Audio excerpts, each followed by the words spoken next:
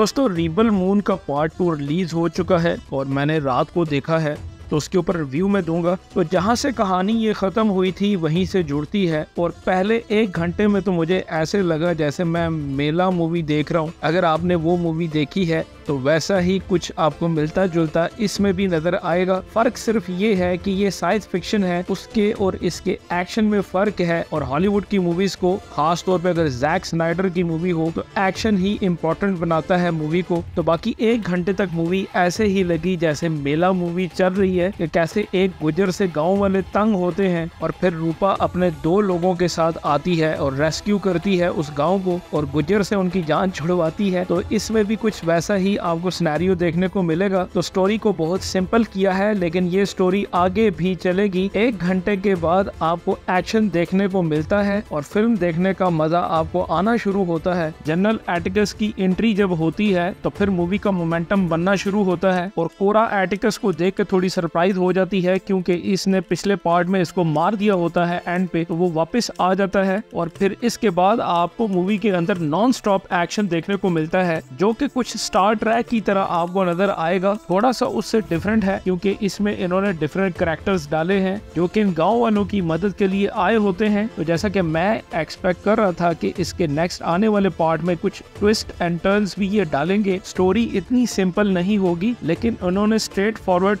Story को simple रखा है। एक्शन बहुत अच्छा है, लेकिन मैं एक्सपेक्ट कर रहा था कि ये कुछ ऐसे होगा कि जैसे ही मदरलैंड इनके ऊपर अटैक करेगा, छोटा सा विलेज है और ये चंद लोग हैं। तो जो मेरे माइंड में चल रहा था कि ये जितने लोग इनके साथ जुड़े हुए हैं, इनमें जैसे टैरिक है तो उसकी एक अपनी आर्मी है और पिछले पार्ट में जिस तरह की उसकी स्किल्स दिखाई गई थी कि वो एक बड़े परिंदे के ऊपर बैठ के उसको अपने काबू में कर लेता है, जैसा कि एक चाइनीज़ लड़की भी दिखाई है, इन सब की अपनी अपनी एक स्टोरी है जो वो बताते भी हैं। तो इनकी आर्मीज आ जाएँगी, जैसा कि थैनोस वाली मूवी में आपने देखा था। तो ऐसा ही कुछ सिनेरियो इसमें देखने को मिलेगा। टैरिक की हेल्प के लिए वो बड़े परिंदे भी आएँगे, लेकिन ऐसा कुछ भी नहीं हुआ और जो चाइनीज़ लड़की इन्होंने तैयार की है, उसके जो आर्म्स होते हैं, वो आयरन के बने होते हैं, वो एक बड़ी अच्छी चीज़ थी, लेकिन फाइट बहुत अच्छी दिखाई है। कैसे कम रिसोर्सेस के साथ टाइटस गाँव के लोगों को प्रिपेयर करता है और एटिकस की आर्मी के ऊपर ये अटैक करते हैं, लेकिन कहानी अभी कंटिन्यू है, क्योंकि कोरा अब बादशाह के पीछे जाएगी और ये मूवी के एंड पे इन्होंने इशारा दे दिया है, यानी इसका नेक्स्ट पार्ट भी आएगा। तो ओवरऑल मूवी अच्छी है, मैं आपको रेकमेंड करूँगा। एक